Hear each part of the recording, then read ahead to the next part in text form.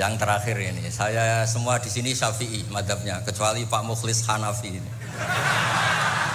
Ini karena siapa ini orang sebanyak ini? Maka beliau mohon nanti Gus Baha yang terlebih dahulu untuk mengisi dan waktunya saya dipesan tidak boleh dibatasi gitu.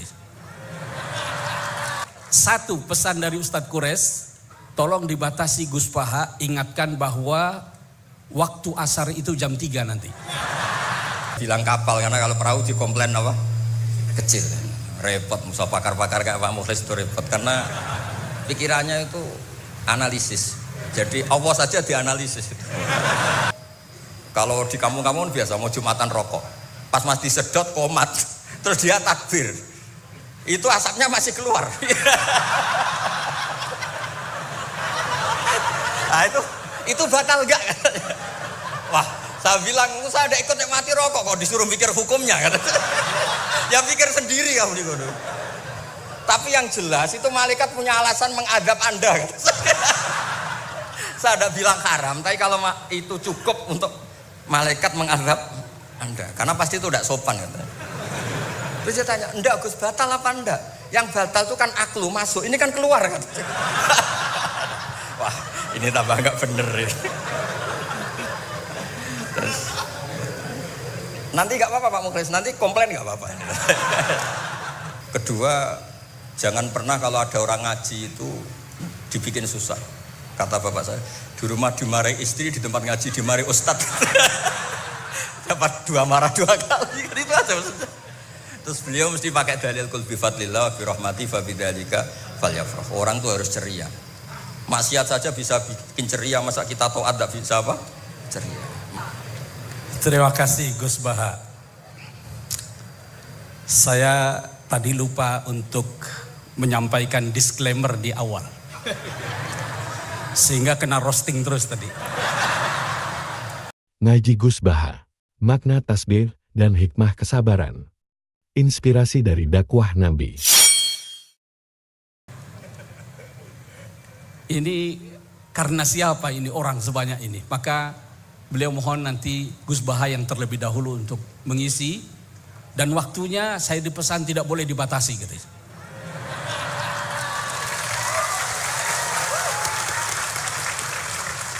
Hanya satu pesan dari Ustadz Kures, tolong dibatasi Gus Paha, ingatkan bahwa waktu asar itu jam 3 nanti.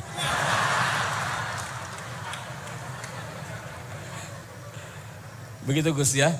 Karena Gus Baha ini tidak ada yang bisa mengundang beliau, tidak ada yang bisa mengatur dan membatasi beliau. Saya persilakan saja Gus Baha. Ah. Oh, Assalamualaikum warahmatullahi wabarakatuh. Bismillahirrahmanirrahim.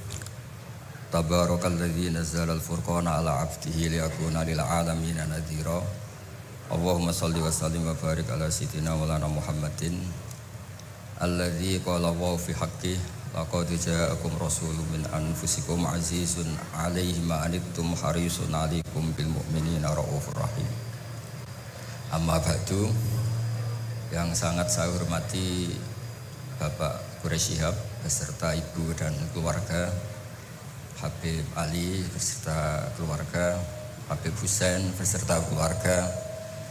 Ini hadir juga Bapak Ahsin Sakho, semuanya yang saya hormati. Ini juga hadir Mas Lukman Saifuddin yang dulu menteri ngurusi agama. juga ada Mas Majdi yang dulu gubernur juga ahli tafsir. Jadi ahli tafsir itu ada yang jadi gubernur. Jadi kalau anak PSG jadi ahli tafsir juga bisa jadi apa? Gubernur. Yang terakhir ini, saya semua di sini Syafi'i madhabnya, kecuali Pak Mukhlis Hanafi ini. Jadi ini orang Hanafi yang disusupkan. Semuanya Syafi'i kecuali Pak Mukhlis. Namanya Mukhlis Hanafi. Uh, jadi begini, saya tadi sudah matur sama Pak Kures atau Abi Kures. Di sini itu para akademisi Yang model wali itu hanya saya, makanya saya nanti model wali. Uh, makanya tak bawakan wiridan tadi. Saya takut kalau intelektual itu terus kayak Pak Mukhlis itu ingin bikin PSG itu besar, terus ngundang orang diatur-atur, disuruh ngomong. Itu udah gaya wali gitu. Grand semuanya dilibatkan. Ya, terus diatur, ngomongnya harus ini, begini, begini. Itu termasuk masalah itu. uh, begini Pak Kurasa, tadi sudah pamit sama beliau itu ada wiridan yang sering saya baca ngaji di Jogja di mana-mana. Ya tolong disemak sama nani model Ki Jawa, kemudian saya bawa takbir, bawa ibarat. Karena ini lembaga akademik, jadi harus otoritatif. E, begini saya cerita mukaddimah. Dulu Nabi Nuh itu ketika kecewa sama kaumnya atau umatnya, itu melaknat mereka sampai mereka mati semua kecuali orang 80 yang ikut di Safinatin Nuh. Maka generasi yang sekarang masih itu semuanya turunannya orang mukmin karena tinggal 80 orang yang ikut di Safinatin Nuh. Sebab itu Quran mengistilahkan generasi yang sekarang itu zuriataman hamalna ma'anu. Jadi kita punya dua status, satu ya Bani Adam di Quran, kedua zuriataman hamalna ma'anu. Dan nikmatnya ada kapal itu dikenang di surat Yasin wa ayatul lahum anna hamalna zurriyatahum fil fulkil masyhun. Jadi kita sekarang ada itu berkahnya dimuat di Safinatin Nuh di apa kapalnya Nabi Nuh. Beberapa kiai nerjemah perahu tapi dikomplain, rak kecil gitu. Makanya saya tuh ngaji saya tuh perahu Pak Kures tapi harus bilang kapal karena kalau perahu dikomplain apa? Kecil. Repot musa pakar-pakar kayak Pak Mukhlis itu repot karena pikirannya itu analisis. Jadi Allah saja dianalisis. Lah kalau saya model wali sudah lah. Kalau hubungan dengan apa itu ya subhanallah bihamdi ada khalqi wa ridha nafsi wa zinata arsy wa midada apa kalimat. Yang kedua ada tasbih subhanallah mil al mizan wa muntahal ilmi wa mablagh ridha wa zinatal arsy. Nah, semuanya saya hormati yang hadir di sini termasuk yang mungkin yang mungkin tidak pinter bahasa Arab, tapi ya tetap pinter. Saya itu punya kenangan terburuk ketemu orang goblok itu satu Pak Kures saya ini kata orang banyak kan pinter. Terus kata orang-orang gini Gus ngaji tafsir susah apa? Enggak susah. Kalau menghindari barang susah itu berarti pinter. Berarti yang tidak mengkaji tafsir itu pinter karena menghindari barang susah wah ternyata saya goblok karena menekuni barang yang susah jadi tidak semuanya orang tuh kagum sama dokter Mukhlis Tanafi karena nekuni barang yang susah. Berarti itu ya enggak saya enggak ngomong gitu. Ya ini saya baca, ini ada saksi, ada Abi Quraisy, ada beberapa orang yang menekuni. Amit Pak Mulis ini, ini dari kitab Tafsir Ar-Razi. Uh, tolong ini spesial untuk anak-anak yang di BSK maupun alumni BSK. Di antara yang diwahyukan sama Allah Subhanahu wa taala kepada Nabi kita Muhammad Alaihi Wasallam adalah wasbir li hukmi rabbika fa innaka bi ayunina. Muhammad, kamu sabar saja, menghadapi apa saja sabar saja. Karena kamu dalam pantauan kami, dalam lindungan kami. Itu di tafsir Ar-Razi atau tafsir Al-Kabir disebutkan wasbir e wabadil Allah nabi tasbih. Wabadil Allah nabi tasbih. Wasabbih bihamdi rabbik badil kaulaka Allahumma ahlikum. Ala taro ila qauli ta'ala fasbir li hukmi rabbika wala takun kasahibil khut. Jadi intinya itu ada dua nabi yang ketika kecewa itu yang satu mutung. Mutung itu ya kayak pengurus takmir yang mangkel terus mutung gitu kayak di desa-desa itu. Saya itu kan termasuk kiai induk di daerah saya, termasuk kiai induk. Sering dilapuri kiai takmir masjid mutung, nanti masuk lagi mutung lagi itu biasa di Nah itu jenis Nabi Yunus. Beliau dakwah, kemudian mereka ada iman, beliau keluar dari komunitasnya, terus terjadi sampai ditelan ikan. It'abako ilal fulkil masyur. Nabi tidak boleh. Kamu jadi Nabi tidak boleh mutungan. Jadi Pak Mukhlis kecewa apa pun dengan anak-anak PSK, nggak boleh mengundurkan diri. Lebih menekuni di Basnas harus nomor satu di sini itu. Terus kedua ada Nabi Nuh. Ketika kecewa melaknat mereka. Robbila tazar alal ardi minal kafirina daya. Habisi saja ya Allah, mereka ini pecundang, mereka ini mengkafiri engkau. Nah, Nabi itu nggak boleh niru dua-duanya nggak boleh. Kalau kecewa itu disuruh mengganti tasbih. Makanya tasbih itu wiridan yang luar biasa. Terserah tasbih kamu apa, misalnya tadi subhanallah bihamdi adada khalqi. Mungkin kita janggal adanya orang-orang nyun sewu, orang-orang nakal. Tapi itu kersane Allah. Nanti ada fungsinya sendiri menurut yang dikersane Allah. Saya beri contoh ya, sampean nggak usah tersinggung. Saya beri contoh. Misalnya kutu, itu gara-gara kutu itu ada pabrik sampo. Akhirnya banyak pekerja banyak. Kalau Allah nggak bikin kutu itu udah ada pabrik sampo. Jadi Allah kalau bikin itu ya gampang saja. Allah bikin kotoran hewan. Mungkin Anda janggal untuk apa? Tapi tanyakan petani, langsung bisa jawab. Oh pupuk ini untuk pupuk untuk ini. Eh, sehingga dalam iman itu khairihi wa syarihi minallah. Kalau kamu nggak paham, nggak paham sirrul qadar, nggak paham rahasia Allah, ya sementing baca tasbih. Subhanallah bihamdi adada khalqi wa nafsi wa zinata arsi wa. Jangan kalau tidak paham kemudian jadi orang kritis, itu kriminal itu dalam hubungan dengan Allah itu. Tidak ada Pak Mukhlis, tidak ada. Jangan, jangan pernah. Saya beri contoh ya, Allah itu pernah disomasi malaikat ketika bikin Nabi Adam. Saya nanti kalau di akhirat mau cari malaikat ini yang pernah mensomasi ini. Tak cari. Malaikat ini tidak tahu kalau suatu saat di dunia ada PSG itu tidak tahu, menurutnya nggak tahu. Ketika Allah bikin Nabi Adam, itu kata malaikat ataj alufiha mayusitu fiha wasfikut Mas Tolong Gusti dievaluasi lagi keputusan kau bikin manusia itu dievaluasi lagi. Karena manusia itu reputasinya itu potensinya. Malaikat tapi nggak bilang potensi. Ataj alufiha mayusitu fiha. Semua manusia itu distatuskan merusak. Wasikut dima. Ini jelas malaikat malaikat ini kata Imam Qurtubi ini tidak akabirul malaikat. Tidak Jibril, tidak Mikael, tidak Israel, tapi awamul malaikat. Jadi bukan malaikat papan atas. Nah, berarti malaikat ini kan tidak pernah survei kalau ada orang di bumi ini yang nelkuni tafsir. Oh, monggo ahlan wa sallam Habib Habib Wakil Al Mukanawar.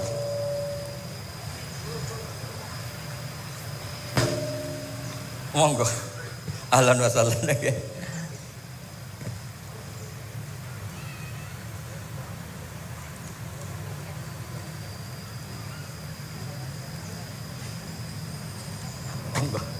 Oh ya. Ya ini kebetulan ini jadi kayak munakosah, kayak ujian disertasi.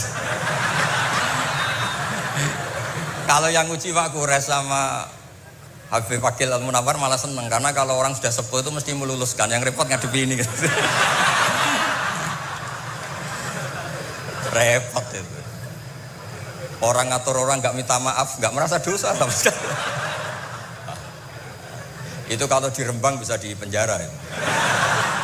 Karena di Rembang saya ini keren betul, nggak nggak ada orang berani ngatur saya.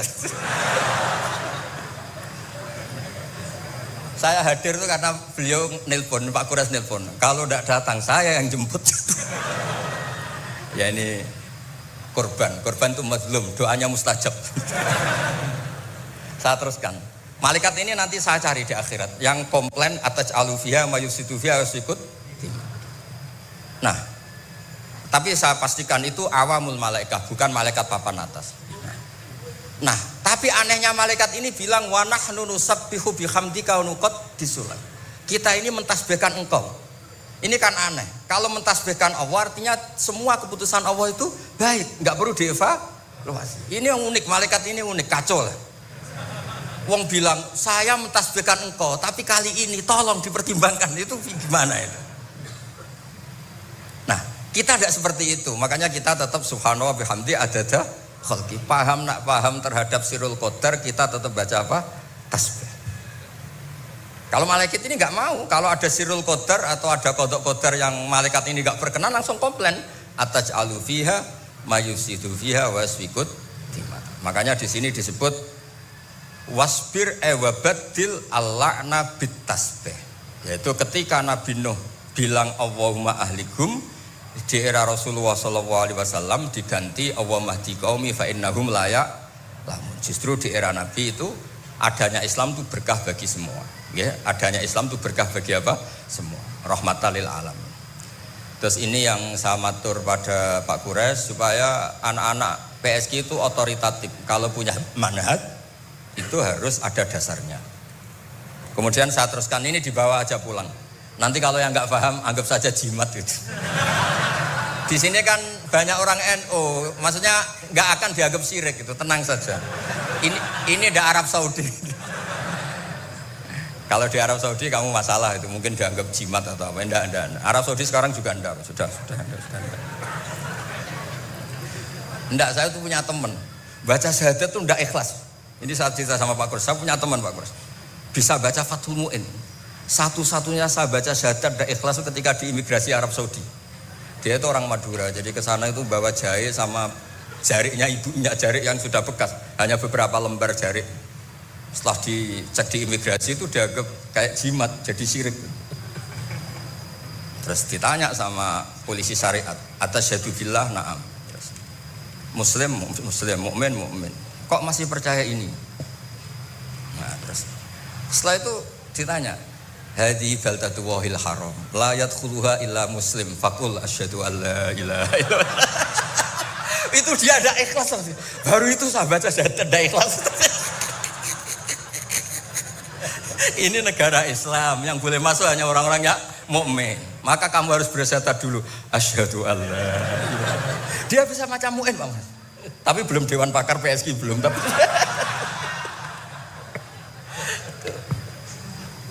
Itu seumur-umur baru itu saya baca sadar tidak ikhlas. Ya sudah, sekarang muslim dia sudah. sudah disahadatkan. Ya, jadi ini termasuk tafsir yang luar biasa. Jadi wasfir li hukmi rabbik itu kata Imam Ar-Razi wabat dililakna bitasbih. Jadi nabi-nabi dulu yang sebagian itu memutuskan Rabbil tadar alal ardi minal kafirina dayaro era nabi kalau kecewa disuruh baca apa? Tasbih. Ini penting supaya kehidupan kita itu rileks. Ya saya ulang, ini penting supaya kehidupan kita itu rileks. Misalnya di beberapa daerah kiai itu tukaran. Saya sering kiai tukaran itu bagus. Setan itu yang kurang pengalaman. Orang kiai-kiai itu kan orang-orang soleh, punya saudara lima tukaran semua itu pindah Papua bikin pondok, pindah Medan bikin pondok, di Kalimantan malah pondok ada di mana-mana. Itu berkahnya tukaran. Nah, setan kaget, loh, tidak sesuai rencana ini. Karena kurang wawasan, setan ini kurang wawasan. Oh orang soleh kok. Jadi yang dulu satu titik tanah dipakai sujud, dipakai pengkajian Quran, gara-gara konflik ke mana-mana. Termasuk beberapa orang yang nggak berani pulang di Jakarta di PSG itu ya di rumah bersih gitu.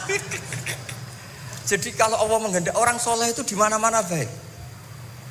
Makanya Quran itu mengkritik setan itu inna kaidah setan kana dhaifah. Sebenarnya setan itu udah hebat-hebat banget. Wong zaman gini yang ngaji ya banyak. Berarti kan ini kegagalan setan. Itu gagal betul itu.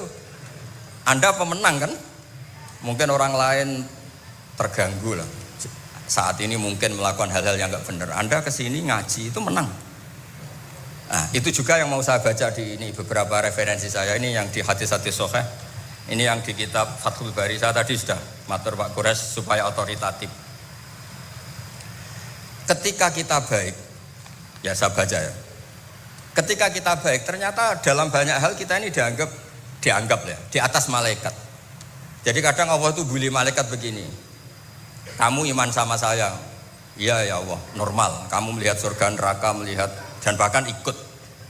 Tapi Bani Adam itu tidak tahu saya, tapi iman sama saya. Wahal ra'auni? Enggak. Enggak tahu saja seiman itu. Kalau wiridan sampai nangis, enggak tahu.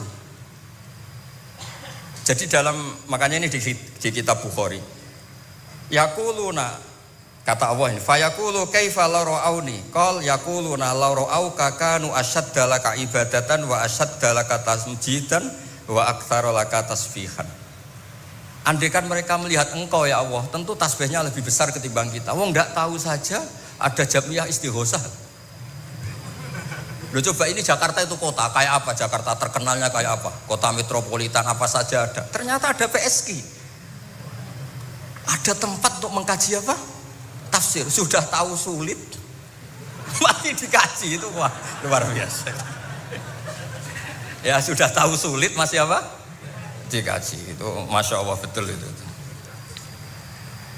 Nah ini supaya supaya clear ya. Jadi ini beberapa kitab yang sengaja saya baca.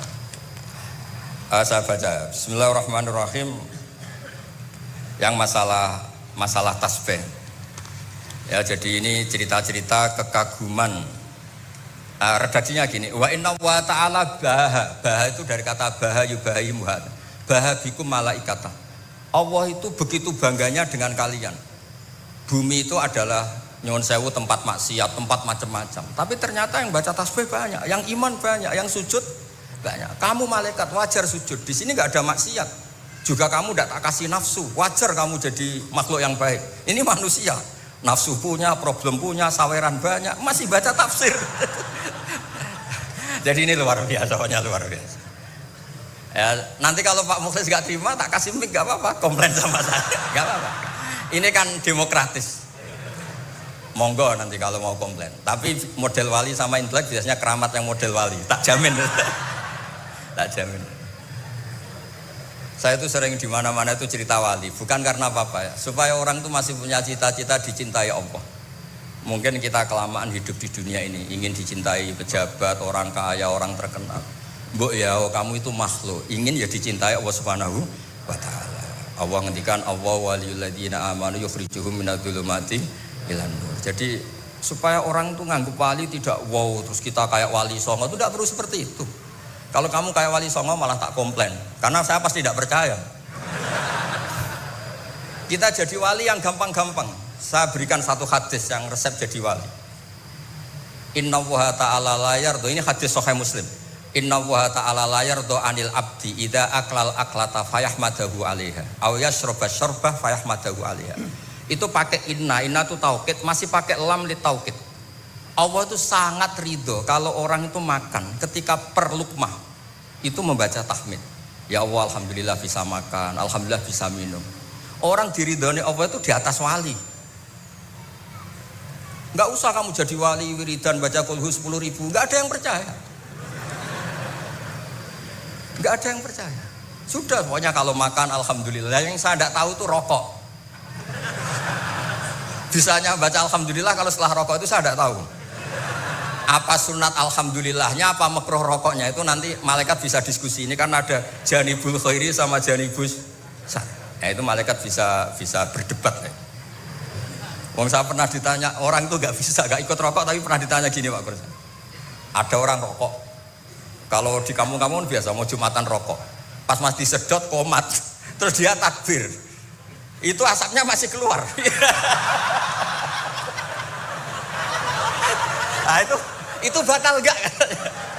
Wah, saya bilang saya ada ikut mati rokok kok disuruh mikir hukumnya ya pikir sendiri kamu di. Tapi yang jelas itu malaikat punya alasan mengadab Anda. saya ada bilang haram, tapi kalau itu cukup untuk malaikat mengadab Anda, karena pasti itu tidak sopan kata. Terus saya tanya, enggak Gus batal apa enggak? Yang batal itu kan aklu masuk, ini kan keluar kan. Wah, ini tambah nggak bener ya. Terus, nanti nggak apa-apa Pak Mukhlis, nanti komplain nggak apa-apa. ya ini kebanyakan Syafi'i itu, kecuali Pak siapa? Hanafi. Aneh. Di Indonesia madhab Hanafi itu nggak laku.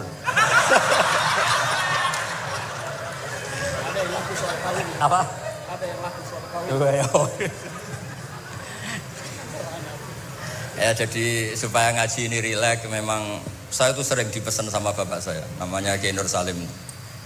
Bapak saya itu pesan saya itu dua, satu kamu harus hafal Quran kayak hafal Fatihah. Bapak saya itu terkenal di Rembang kalau baca Quran itu wanya sekali. Kedua jangan pernah kalau ada orang ngaji itu dibikin susah. Kata bapak saya di rumah dimarahi istri di tempat ngaji dimarahi ustad. Dapat dua marah dua kali itu aja maksudnya. Terus beliau mesti pakai dalil kul bi fadlillah bi rahmati fa bidzalika falyafrah. Orang tuh harus ceria. Maksiat saja bisa bikin ceria, masa kita taat tidak bisa apa? Ceria. Makanya Nabi ngintikan wa qurratu aini fi salat. Saya ini kalau salat senang sekali. Ya karena orang baik, orang baik itu pasti senang dengan hal-hal yang apa? Makanya saya ke sini itu, makanya jangan pernah ngundang saya itu, tidak akan hasil. Saya terkenal itu. Saya itu hanya mau diundang yang pernah sepuh. Saya kemarin mulut itu di Mbah Pasuruan karena sepupunya Mbah. Di Kiai Sahal juga masih sepupu. Terus di sini karena itu. Ya tadi diancam, kalau tidak datang saya kata. Alhamdulillah akhirnya samina wa nah. Jadi saya mohon semohon-mohonnya. Jadi Nabi Muhammad SAW memang dari awal tidak boleh mengikuti melaknat orang yang balelo. Sebab itu ketika Nabi menyamakan dirinya, ketika melihat Nyun Sewu Umar temperamental, masalu kaya Umar kamasali Nuh, ifkola Robbila tadar alal ardi minal kafirina daya. Wa masalu kaya Abu Bakrin kamasali Ibrahim ifkola faman tabi'ani fa innahu minni wa man asoni fa innaka ghafurur rahim. Dan Nabi Ibrahim ini juga yang Allah bilang ke Nabi Muhammad ngendikan anit tabi millata Ibrahim Hanifah. Jadi santri BSK yang soleh kita doain, yang beling kita doain tobat. Jangan diusir Pak Mukhlis. Kalau diusir menjadi orang lebih nakal nanti kak, Anda yang ditanya sama Allah. Sudah baik-baik di PSK kamu usir, sekarang di tempat maksiat. Kita yang kena hisab. Karena syariat kita faman tabi'ani fa innahu minni wa man asani fa innaka ghafurur rahim. Kalau tidak bisa semua karena kita punya hirah, punya buhdu alil ma'asi, misalnya kita orang soleh yang benci sama maksiat. Kamu ikut saja Nabi Isa. Ketika tidak bisa memilih, kembalikan ke Allah yaitu bertasbih. Kata Nabi Isa, "In tu'adzibhum fa innahum ibaduk wa in taghfir lahum fa innaka antal azizul hakim." Itu kan hamba jenengan Gus itu tidak wilayah saya, monggo terserah jenengan. Wong kula ora melok gawe kok jenengan elok-elokno. Saya ada ikut bikin, ya monggo itu wilayah jenengan. Jangan ngambil sikap kemudian Anda itu salah. Misalnya begini, tanpa ngurangi hormat. Sayyid Abdul Hasan Asyadili dalam satu muka syafahnya itu ketemu Nabi Nuh sama Nabi Muhammad Sallallahu Alaihi Wasallam. Itu Nabi Nuh kan melaknat orang kafir sampai habis. Kata Abdul Hasan Asyadili. Di Indonesia kan banyak Toriko Asyadiliyah.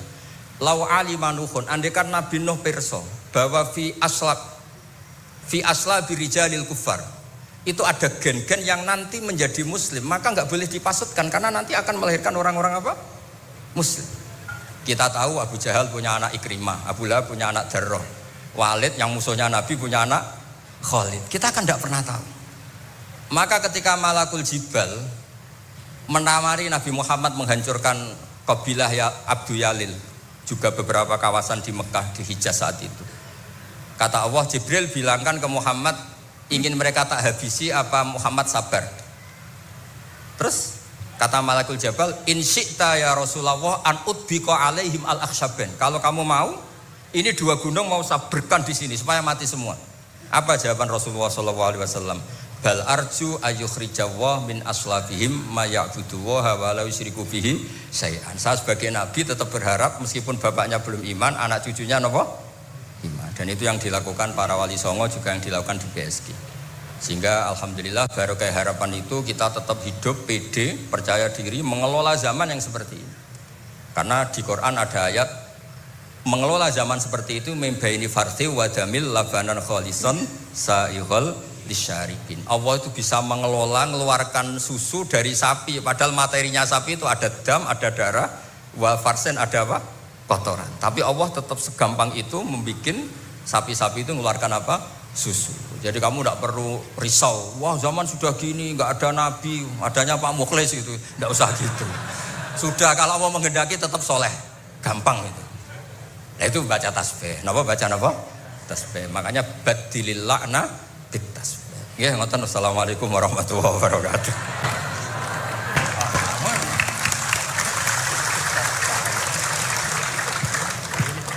ngasih waktu ini.